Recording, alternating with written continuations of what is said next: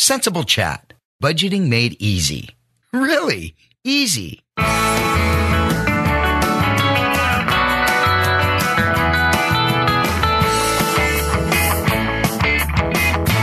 Welcome to CentsAble Chat with your host, CentsAble Bobby, the show that is all about budgeting, smart spending, and saving.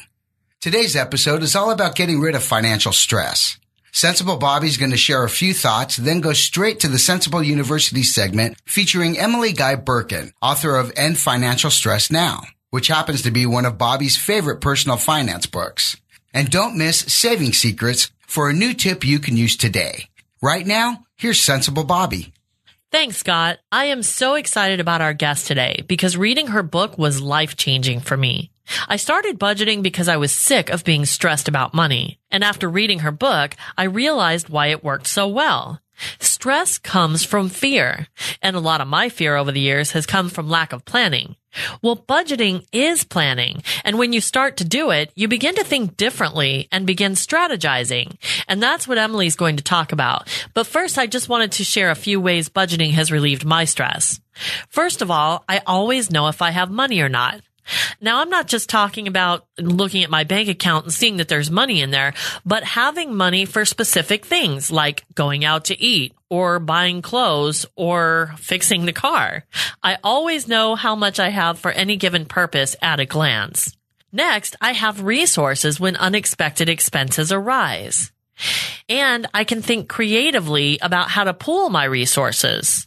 Plus, whatever comes up, I've probably already thought it through and have a plan to tackle it. But most important, I'm confident that I can take on whatever comes my way. According to a survey by PricewaterhouseCoopers, money is the biggest source of stress, more than jobs, relationships, and health combined. I know how this feels. I used to feel sick to my stomach whenever I was asked, can we afford it? Whenever a bill came in, I stressed about how we would pay it. If we paid money for something fun, I couldn't enjoy it because I was stressed out about how we would pay for it. If my car made a weird noise, I'd freak out. You know what relieved my stress? Budgeting. I know I'm a broken record, but tell me what you're stressed out about financially and I can tell you how budgeting can help. It really is that simple. But it's not just about the money. When you start budgeting, you're strategizing, and that's what makes it work. You plan for what you need and become confident about planning for the future, even if you don't have all the money you think you need today. I challenge you to put a plan in place, follow it for a month, and not feel less stressed. Planning is what keeps financial stress at bay, at least in my experience. Now, for those of us who have spent much of our lives mired in financial stress, how do we end it? Ask Emily Guy Birken. She literally wrote the book on it. Okay, budget heads, CentsAble University is now in session. Today's guest professor is Emily Guy Birken, money coach, blogger, retirement expert, and author of four books, including End Financial Stress Now, which happens to be one of CentsAble Bobby's favorite personal finance books. You can find out more about her at emilyguybirken.com. Emily, thanks for being our guest professor today. Oh, thank you so much for having me. I've got to tell you, your book is one of my favorite personal finance books. So I'm so excited to get a chance to talk to you in person about it. Well, thank you. Thank you for the book. There's just so much great information in here. I just want to jump right in because even just in the introduction of your book, you write, what if I told you that it was possible to stop worrying about money forever? And I found that such a freeing question. My first thought was, tell me more. I had to just keep reading. But some people might think this cannot apply to me because of my income level, my mm-hmm. debt, whatever it might be.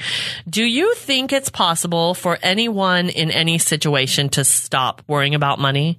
I do. I think that at any income level, at any place, you can change your mindset in such a way that you replace worrying about your money, which is where you're feeling out of control, where you're constantly thinking something needs to happen for things to get better and change it to more of a strategizing about money, thinking, how will I solve these problems?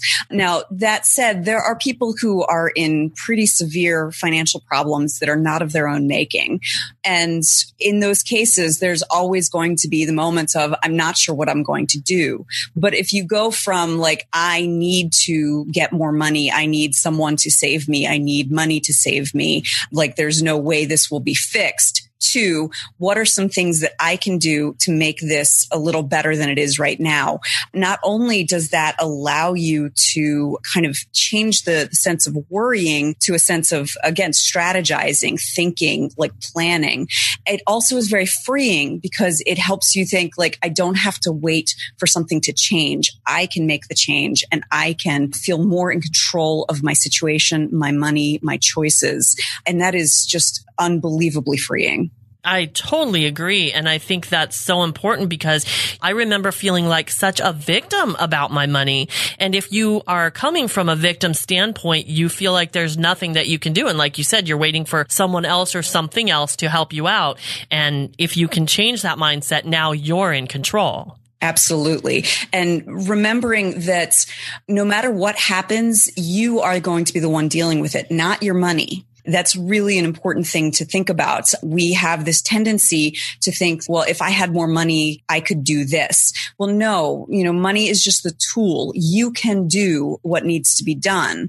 And one thing I, I like to remind people is if you think about the hardest thing you've ever had to do, whether that's living through the death of a parent, giving birth, having to work two jobs to make ends meet, even, I mean, anything that you have had to do, if you asked yourself before it happened, will you be able to do this? You would have said, no, no, there's no way. But you find the resources. The thing with worrying about money is that you have this constant sense of, I can't do this. But if you just remember, no, I have the resources. I can draw on those resources and I can handle what life throws at me. It's not going to be easy, but I'm that good.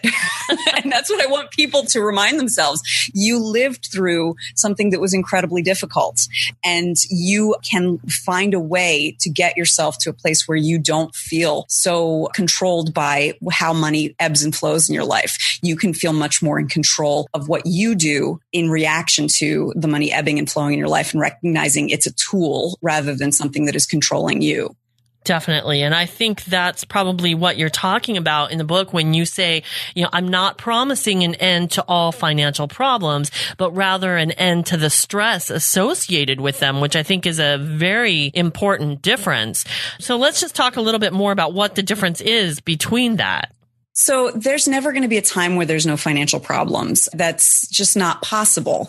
And frankly, even Warren Buffett has tough conundrums when it comes to money. I would love to have his financial problems, but he does have them. Sure. And so the thing to remember is that you are going to encounter financial problems, remembering that they don't need to be something that frighten you is the important thing. You know, it's not a boogeyman. It's just something that you need to figure out what resources you're going to use to solve them. And then again, changing that mindset where you go from like, okay, yeah, financial problems are a fact of life and I can deal with them allows you to let go of worries about future financial problems. That's something my husband tends to be a worrier about future financial problems and, you know, helping him to recognize like, worrying about how we'll deal with it when we get to it. First of all, we don't know if it's going to happen. And secondly, like we have the resources we need when we get there. And then you can also stop agonizing about past decisions. Like they are done. You did the best you could with the resources you had at the time. And you can kind of let go of that, you know, recognize like you dealt with these problems in the past. If you encounter a similar one in the future, you might do something different. And then also you can recognize that you won't, you don't need to feel paralyzed by current problems because because again, you have the resources. You are that good. It's just a matter of taking the time to think strategically and kind of allow yourself to separate your feelings about the problem from the way you deal with it. And that will help you, first of all, feel much more confident about what you're doing. And also will give you a lot more ability to make the best financial decision with the resources you have. So let's talk about some of these and we'll start with some that are a little less daunting maybe and a little less, a little more just things that come into play that you can do differently. Let's start out with opportunity cost. And specifically, you have a section in the book titled why it may cost you more when it's free, which I kind of found as a, I mean, everybody thinks it's free. It's free, but mm-hmm. that's not really true, right? That's absolutely correct. Yes. So opportunity cost is whatever you lose out on by making any particular decision. So I remember my first big lesson in opportunity cost was after I graduated from college, I ended up moving to Columbus, Ohio because I followed a guy, which was not the best decision I've ever made. And uh, at the time, I had these grand dreams of moving to New York and taking the publishing world by storm. When I broke up with the guy, I remember talking to my sister saying, I feel like I've limited myself by moving to Columbus. And my sister, who is so wise, said to me, Any choice you make means you are limiting yourself because that means their other choices aren't there. So if I had moved to New York, I wouldn't have met my husband. So that would have been limiting myself. So that's how that was really important wake up call when I was 22 or 23 years old about what opportunity cost is and recognizing that any choice you make means that you are limiting the other choices you can make. So when it comes to things that are free, the problem is that we just stop recognizing that there's an opportunity cost because since there's no financial cost, we feel like there's no cost whatsoever. But there's still a downside to anything that we accept that's free. So like kind of a, a, little one is for me, I really want to have a decluttered house. And yet when I go to conferences or there's a free gift with purchase, I'm like, ooh, free mug. you know, like, yay, I need another water bottle and forgetting that the cost is my clean house. And so that's something that we have a tendency to just kind of like completely allied over like the question of well, where am I going to put this new thing? You know, there's no room in my cabinet for another water bottle or another mug. So where, where's it going to go? What am I going to have to give up to keep this mug? And I might I end up having to just give it to Goodwill, in which case I've wasted some time by carrying it all the way home and then giving it away. right. And so that's the thing where we have this tendency when something is free, we just lose our ability to recognize the opportunity cost of accepting the free item and that can be very expensive depending on what the free item is. So how do we go about combating that mindset of free is free? There's a couple of things that are really helpful. One I got from a friend of mine who is a master crafter and she homeschools her children and she doesn't accept anything for free because people are, are always giving her things for crafting or for really reduced price unless she'd be willing to spend full price on it. So if you're looking at the free gift with purchase or you are at, you know, annual conference and there's all kinds of swag, if you look at that t-shirt or that mug and go like, would I pay $20 for this? And your answer is no, then it needs to stay where it is. Yeah. so that's a really important thing because it helps you remember that what you're looking at does have a cost. And if you can think more rationally about that cost, if you think, would I spend full price on this item? Another easy way to do it without going all the way to full price is would I spend 50 cents on this item? 50 cents is next to nothing. Like everybody's probably got 50 cents somewhere in their pocket or with the lint in their bottom of their purse. Would it be worth it to you to find that 50 cents to take this free item? And if you go, no, then you obviously don't need it putting some sort of financial stake into it can help you to recognize the cost of what you are possibly getting for free. Sure. And that really helps to get in the value mindset too, because how much are you valuing this item? And, you know, we all have so much stuff. And then you get into at some point, do you need a storage shed for this stuff? So now mm-hmm. you're paying money just for junk that you may not actually ever use. Yes, exactly. And those are the things that we don't think of storage. We don't think of time. We don't think of cleaning um, and, and all of those things because free is just so exciting to our brains. Sure. Now, on the other side of that is scarcity. And it was really amazing to me to read about scarcity in your book and how it can affect your decisions. I've always seen this as the poor mindset, but I think we're talking about the same thing. So explain what scarcity means from your perspective. Scarcity in general just means that you have more needs than resources to meet them. And that's something that happens to all of us at some point or another. So in the book, I talk about I actually had sleep scarcity when my eldest was a baby. The child did not sleep for 18 months. And so the problem was more than just that I didn't have enough hours for the rest that I needed because that is something that could be relatively easily fixed. The problem is that I also got into a scarcity mindset, which was where when you are lacking something, your brain focuses on it. There are two researchers called Sendhil um, Mullainathan and Eldar Shafir uh, who wrote the book called Scarcity. They call that tunneling. And we've all experienced tunneling. You know, if you have an essay due for school and you're not able to work on it until the night before it's due, that actually is tunneling working well for you. You're able to focus because all of a sudden this just got real. I have to get it done. Right.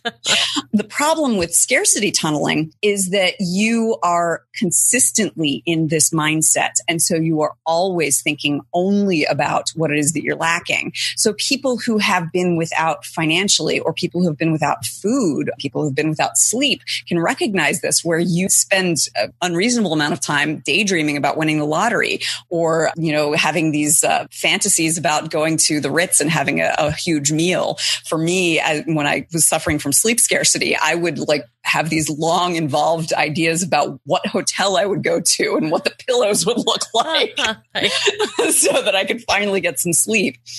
And so with that tunneling, because you're so focused, you are not able to do the things that would actually help you. Again, with my sleeping, sleep training with my child would have helped, but I was so exhausted, I couldn't even imagine doing it.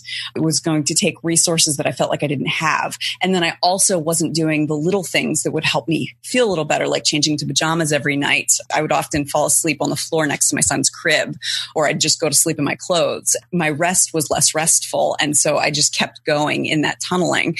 Similar things happen with people when they are in a financial scarcity mindset. They're so focused on the next paycheck or the next payday loan or the next way that they can get some money, they forget about bills coming on the horizon after that.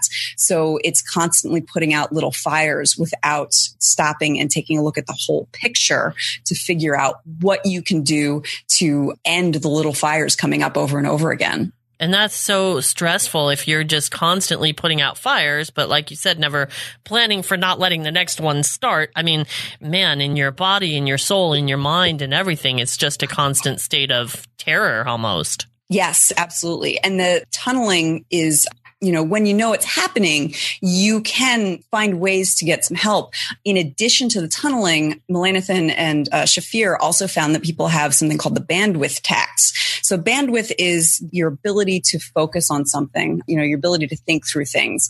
And if you are experiencing a scarcity mindset because you're so focused, you're so tunneled on the one thing that you're lacking, it actually saps your ability to think about other things. They actually did a, an experiment where they asked people first, they asked for their income. Then they asked them to think about if they had a car repair they needed to take care of. And for some, they said $150 car repair. And for some, they said $1,500 car repair.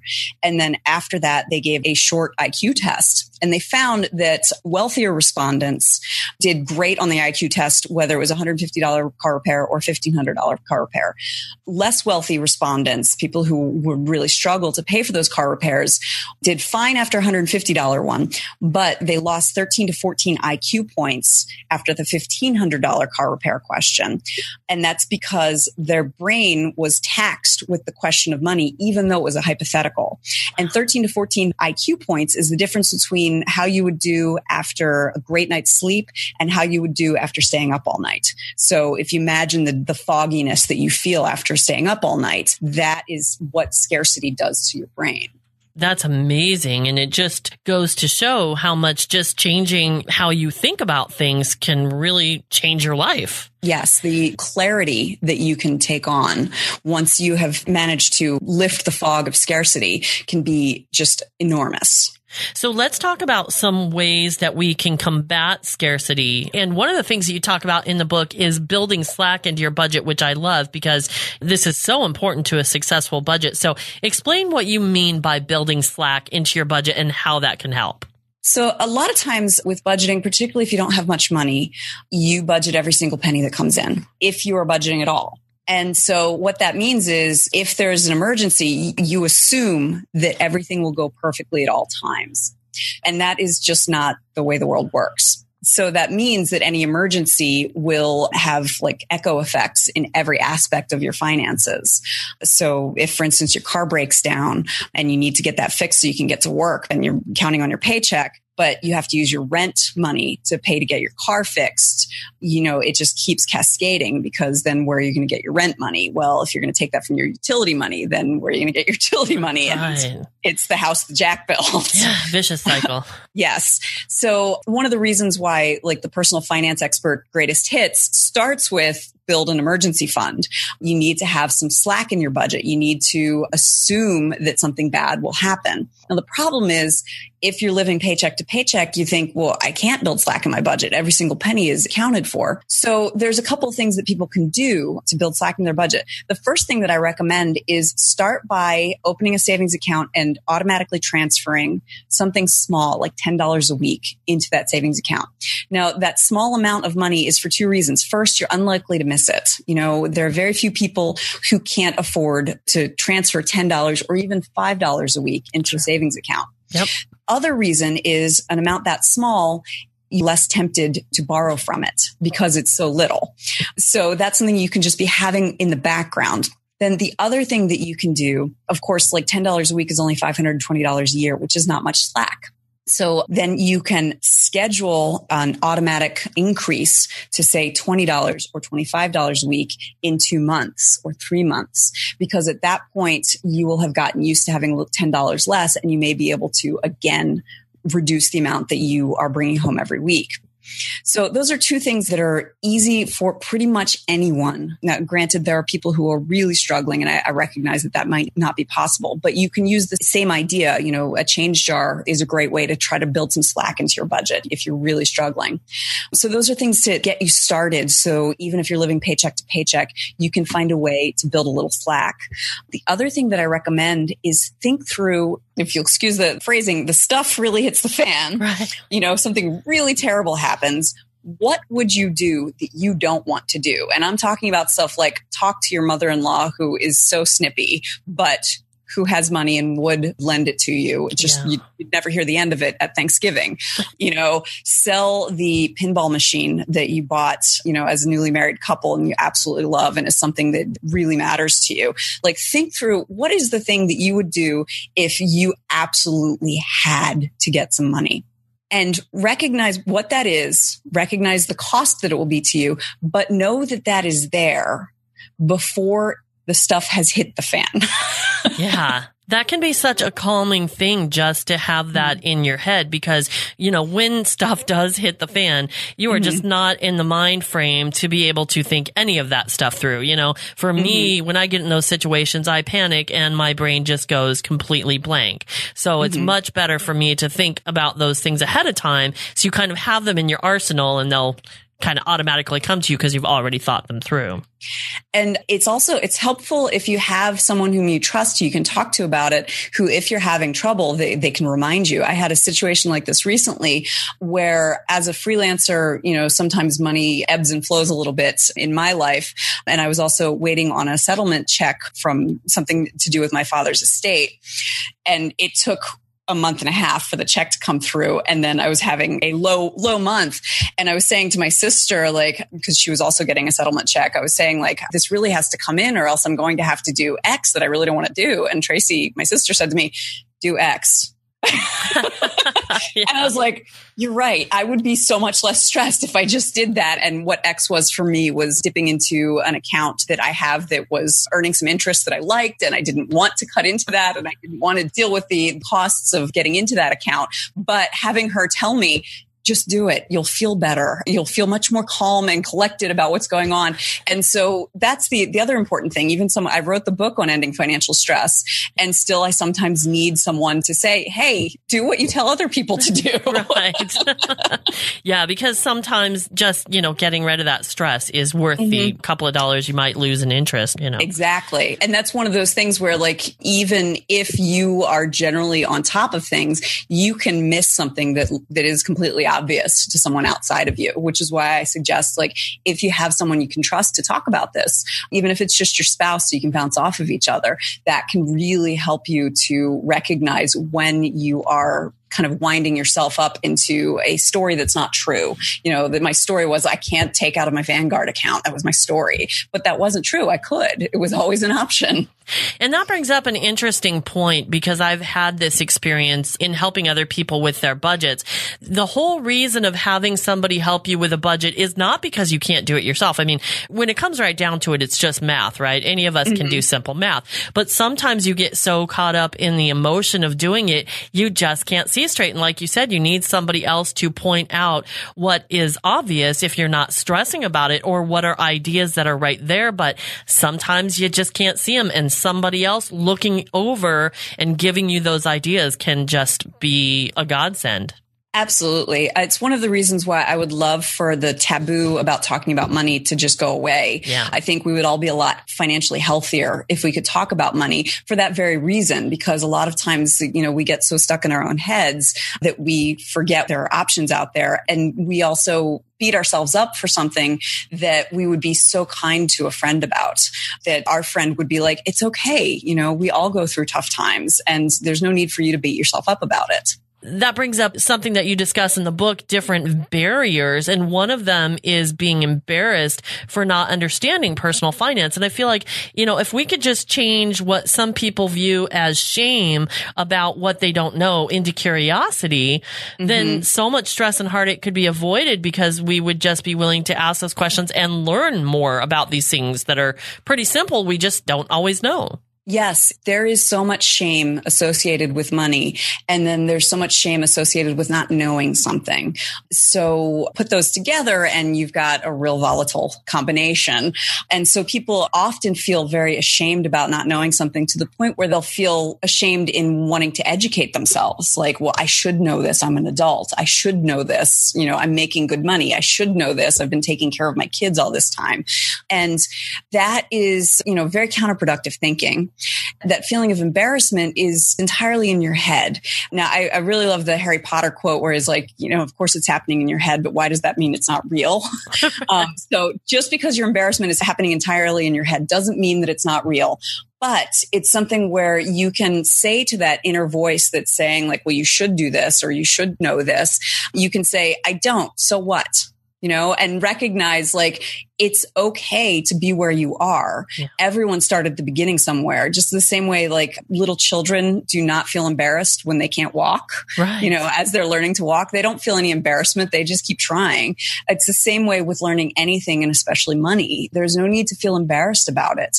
Just go ahead and keep trying and reach out to people.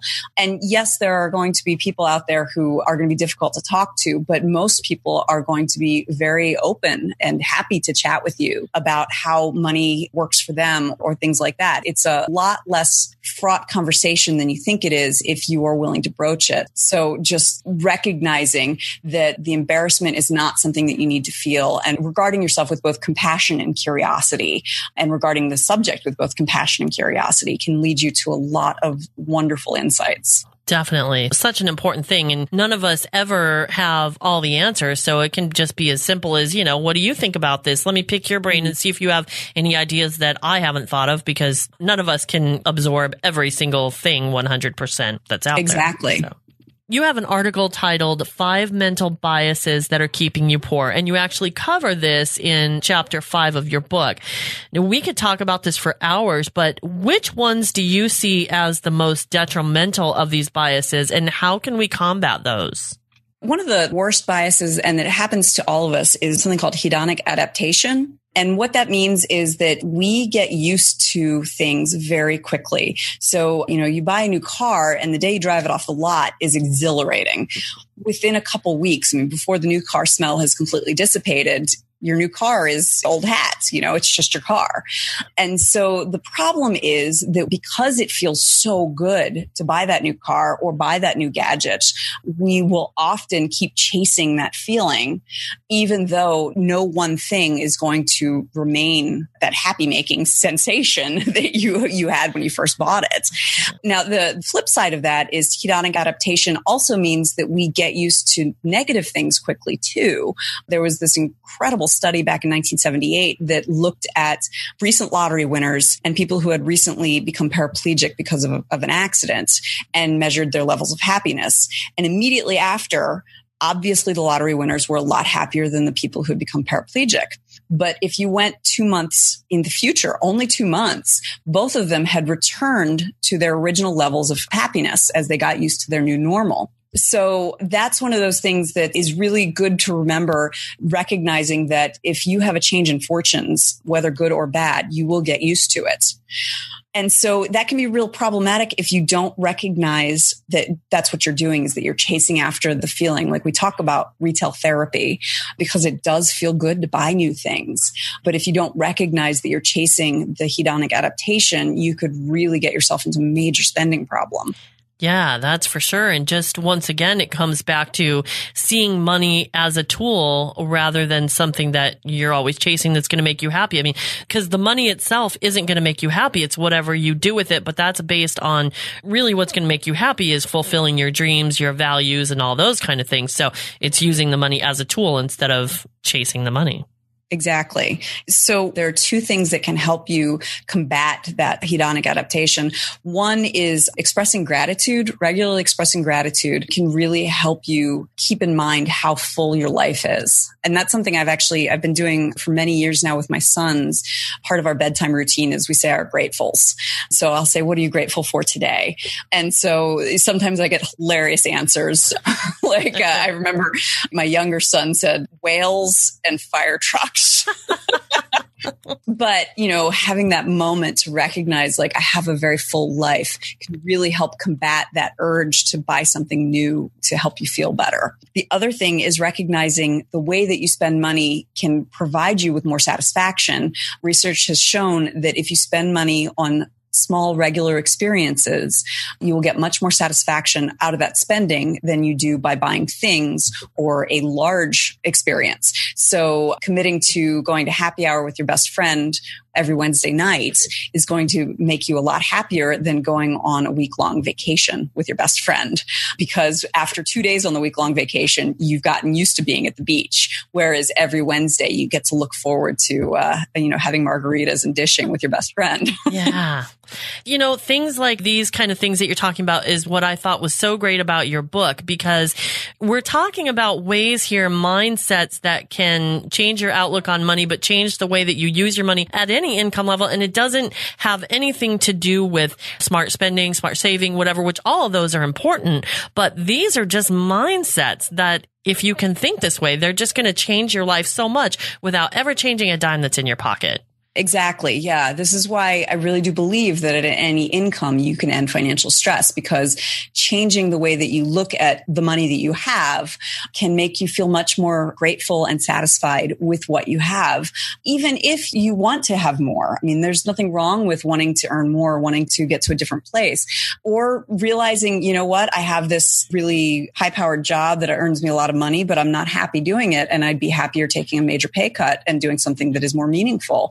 And, you know, it's all about living the life you want to live.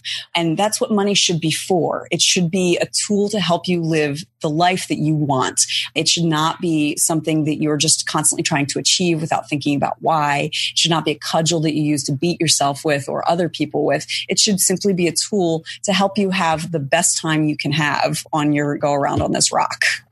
This is something that I, I, think we all struggle with regardless of our income level or our money status. And it's really hard because it involves dealing with family and friends.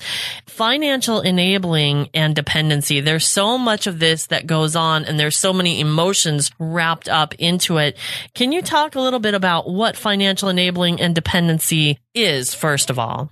Sure. So financial enabling is when you are taking care of things financially for someone who can do that for him or herself.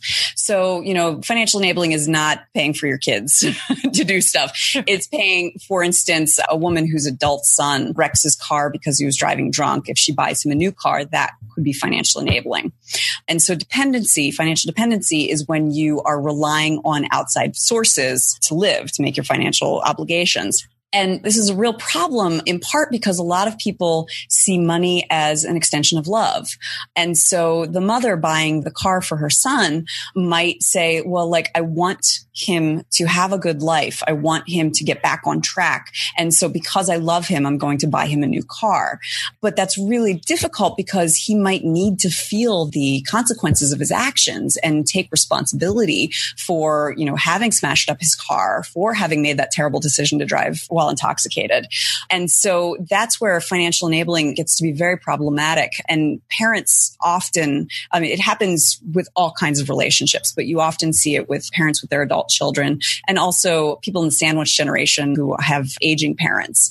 You know, you are allowing the fact that they've made not great financial choices become your problem. And so that not only constricts your own ability to make great financial choices for yourself, but it also just keeps this process going where they are never in a position to take responsibility for their own financial choices. What do we do about this? Because there's so much guilt for the person that this is kind of put upon, whether it's the parent of the adult child or the child of the aging parent. And, you know, depending on your income level, it could be a huge financial burden. But even if it's not, it could be a huge emotional burden because mm-hmm. you're having to change these decisions. Maybe you made good decisions so that that didn't happen to you. And now you're having to take responsibility for somebody else who did not. Or, you know, maybe you don't have the money, but either way, you don't feel like you can say no because this is your family. But for your own survival or your own psyche, sometimes even you have to find a way to say no. So how do we deal with that in the best possible way? This is one of the, the stickiest issues when it comes to money. And part of the problem is that people often don't think about it globally. This is a tunneling issue. They think about it each time, you know, that your shifty cousin comes and asks for a loan. Each time your aging parents say, like, we don't know how we're going to pay for dad's medication, you know, something like that. And so you think about it each time. And again, it's little fires you keep putting out. So what people need to do is really think globally and think through, like, what can I afford to provide help wise for my parents, for my adult child? What can I afford to do? And really make it like a line item in your budget.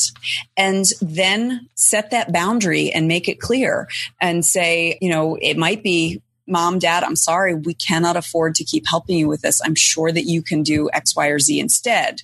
Or, you know, I can help you with this non monetary way, but I cannot help you financially. So you might simply cut it off. Or you might say, this is all I can afford to do. Please don't ask again. Those are such difficult conversations. And anyone who knows how to have those conversations without feeling overwhelmed should bottle it and sell it for a million dollars but that really is what it's about is to think globally about like what it is that you're doing so that it's not you're not lurching from problem to problem where you end up enabling a family member and really think through what you are able to do and you know if there are ways that you can help that are non-financial always offer that because that's a way that you can make it clear I do care about you you are my family and I love you but I can't do this money question you're asking of me.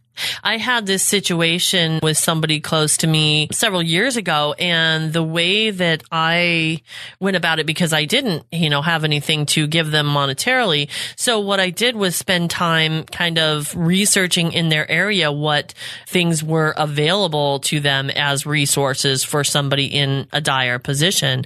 And that way I at least felt like I could give them some resources, somewhere to turn, even though I couldn't help directly. And that can be priceless. You know, a lot of times the real help needed is something that is non financial that, you know, you may have the bandwidth to do for someone who's dealing with a difficult problem. Yeah, that makes a lot of sense too, because, you know, if they're in that stage where they're panicking, they just can't think about those things. I hadn't even thought about the fact that that might not have occurred to them because they're just panicking and this is the first thing they could think to do and that's all they can think of. Now, part four of your book, we've talked a lot about, you know, these issues and somewhat, you know, how to combat them. But part four of your book is achieving a stress free financial life. And there are so many great ideas in that. But give me a few that people can take away right now to make their financial lives a bit less stressful, especially those who are struggling just to make ends meet. So one of the things that I like to recommend, and people are always very surprised by this, is one thing that people can do is adjust their withholding. If you regularly get a large refund in April from a tax refund, then you can adjust your withholding so that you get to take home that money each month. And so like, what difference would that make if you had an extra $200 each month in your budget? For a lot of people, that's a huge change. That makes a major difference. Now, of course, the caveat is that means you won't have the big refund check. And a lot of people use that refund check for a lot of different things. I mean, they, they may end up investing it. They may end up going on vacation. They may end up buying something big with it. And that is a common habit. If people tend to blow their tax refund because it's a lot of fun to get $3,000 all at once, I you know can't blame you for that. It is fun, especially if you are deprived most of the year. However, is that feeling of being able to like I've got a big check and I can spend it worth 12 months of stress? The other thing people worry about with that is they worry that it's illegal. And that is not true at all. You have the right to adjust your withholding at any time. You just need to get another W 4 form from your employer. And you can go onto the IRS website to calculate the proper number of exemptions you can take for your withholding. And then generally, if you turn it into your HR department within the next paycheck, that will change how much money you're getting each month. It's a really nice easy, painless way to improve your financial situation. And one other thing that I would like to say, there are some folks who simply know that they are not going to be responsible with an extra $200 a month, but they can be responsible with a big refund check. If that describes you, then keep doing what you're doing. But if you simply are like, I don't know how to make ends meet, this could be a way to do that. What I like is that it requires next to no effort. It's easy and it's I'm not going to say instant, but it's pretty immediate depending on your HR department. And even if they don't think about it during the year, because that's such a fantastic idea, that is a way definitely to get money right now. But if you've come to the tax season and you're getting that big refund check, if you've been stressing all year, you might also take a step back and just think, okay, instead of going out and having fun with this, which would be so great to do because I've spent so much time stressing, but I can stop the stress from next year just by using this in mm-hmm. my budget to kind of save for all those mm-hmm. things, you know, that have been hitting me every month that I can't deal mm-hmm. with. Yeah, putting that big refund check aside in an emergency fund means that you have immediately built slack into your budget without changing anything else. And that's something that, you know, it can be so hard to think of. We tend to think of tax money as free money, you know, like, woohoo, I got free money. Whereas we don't think of our paychecks that way. We think of it as like, well, this goes to bills and pays for what I need to live. But the thing is, your tax refund is your paycheck remember that is your paycheck. Yeah. it took a walk to DC and came back again. right. yeah. And it's like they say, you know, if you set something free and it comes back to you, it was yours to begin with. So, hey, that's perfect. now you know for sure it's yours. So, so use it wisely. So you've already talked about this a little bit, but just tell me why you believe that budgeting is such an important part of living a stress free financial life. So one of the things about money is a lot of people, they want to not think about money. And that is just not going to be possible for stress free. You know, people think, well, if I'm not thinking about it, I'm not stressing about it. And that's not true because if you're not thinking about it, you're not strategizing, you're not planning ahead. And again, you're letting money make the decisions because you're not making them yourself. This sounds a little woo woo, but you're in a relationship with your money and your money will take care of you if you take care of it. And in the same way that you would be resentful or your spouse would be resentful if every time you came in the room, they're like, Oh, I can't deal with you right now. or, Oh, you, I got to think about you.